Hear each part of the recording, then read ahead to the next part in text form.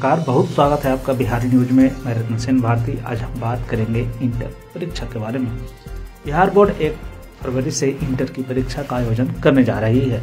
Intermediate की वार्षिक परीक्षा 14 फरवरी तक चलने वाली है। इस परीक्षा के लिए बोर्ड ने लगभग सभी तैयारियाँ पूरी कर ली है।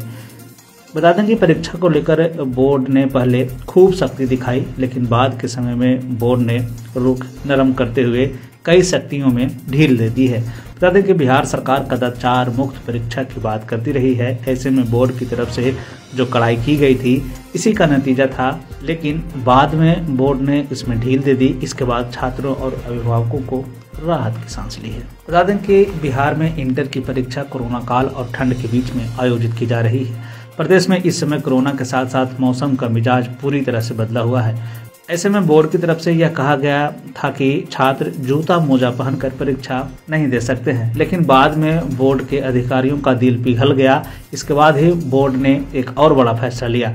जिसमें उन्होंने कहा है कि अब परीक्षार्थी को घबराने की ज़रूरत नहीं है। जिनका एडमिट कार्ड में कुछ गड़बड़ी हो गया है या वे परीक्षा हॉल में लाना भूल गए हैं या फिर जिनके प्रवेश पत्र में फ़ोटो में गड़बड़ी है तो उन्हें घबराने की ज़रूरत नहीं है। उन्हें परीक्षा में बैठने की अनुमति दे दी जाएगी।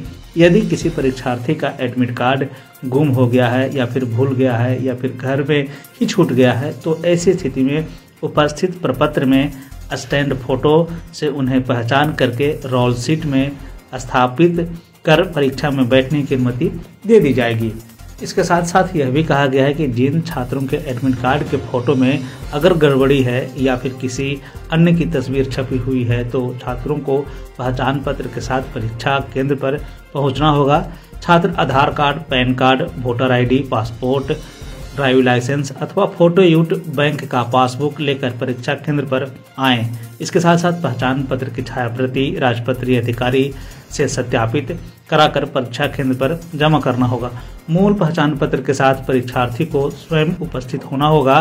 परीक्षा अधीक्षक चेहरे का मिलान कर उस परीक्षा में बैठने की अनुमति देंगे। इसके बाद ही छात्र को ओ सीट पर डाटा रहित उत्तर पुस्तिका उपलब्ध कराई जाएगी।